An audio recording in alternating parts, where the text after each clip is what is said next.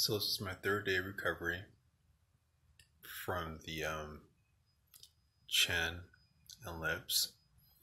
Swelling's gone down a whole lot.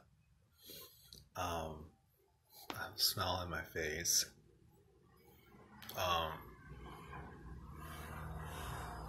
I've taken a shower, of course, but the badness are still there. I'm not supposed to shave.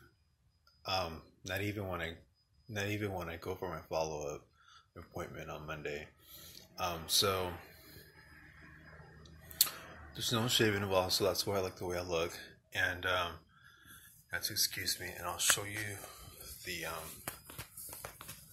the part of the. Um, sorry, I don't have the greatest body, not yet. I've gone up and down. Um, so I'm pretty boosted up. The bands have not come up. I have no problem removing them. I don't want to remove them. Um, I did a get a phone call today was at Walmart from Valerie Freeman asking how I was doing.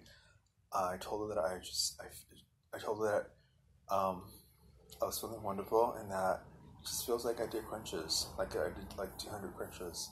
She thought that I actually said that I was doing actually that I, that I actually did 200 crunches. Um. So no.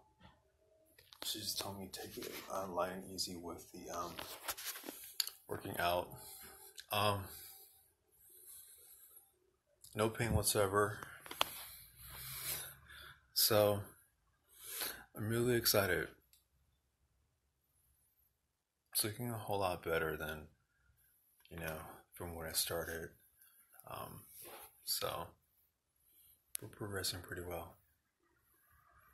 Okay, remember it's up to you to make it a brighter day. Thank you for watching.